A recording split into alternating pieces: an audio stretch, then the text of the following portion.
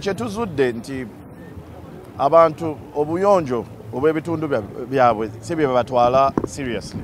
Uh, bwe tutambudde tusanze abantu ng'oli ali mu fensi n'akasuka mu kkubo n'osanga oli nga wakolera wennyini wakyafu ate tafaayo. Singa kino ekintu tugenda tukikola buli mwezi nga bwe tugenda tugenda kikola kijja tuyamba abantu bayige nti newe bakolera walina okubeera nga wayonjo ekirala simanyi lwaki muntu ogenda n'ogula emmere ku muntu omukyafu kubanga nawe kenyini oba weetadde mu risk ey'okufuna obulwadde.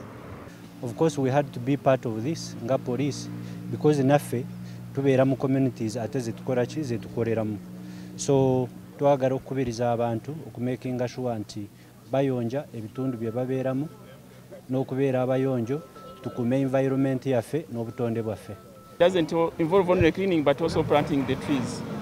As part of the community residing with the people in Entebbe we feel concerned and it is part of our obligation to ensure that we participate with the community to ensure that our environment is clean by cleaning and also planting the trees. wagambye nti enkomerero y'omwezi tubeere nga tuyonja buli enkomerero y'omwezi. Kiba kirungi.